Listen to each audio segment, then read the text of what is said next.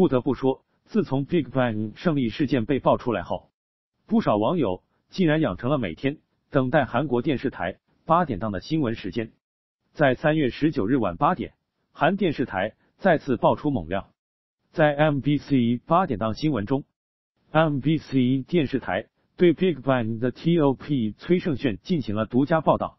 根据韩电视台 MBC 的报道，Big Bang 的 TOP 崔胜炫在服兵役期间享有艺人特权。三月十九日晚，韩电视台 MBC 爆出 Big Bang 另一位成员 TOP 崔胜炫在服兵役期间享有艺人特权。韩 MBC 表示得到了 Top 崔胜炫的工作明细，内容显示他与其他同事相比病假太多，日期也大多在休息日前后。总共有十九天的病假。MBC 还拿到了与 TOP 崔胜炫共同服役的其他两百二十六名服役人员的服务日期。TOP 崔胜炫竟然是别人四倍的假期。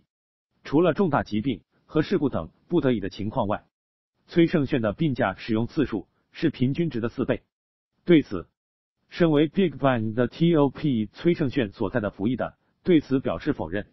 而值得注意的是。而 TOP 曾在胜利事件后，在小号社交平台上发文感到丢脸，而 Big Bang 队友胜利也在十九日晚首次公开了个人立场。我只想说一句，就是我没有过海外赌博和性交易中介等行为。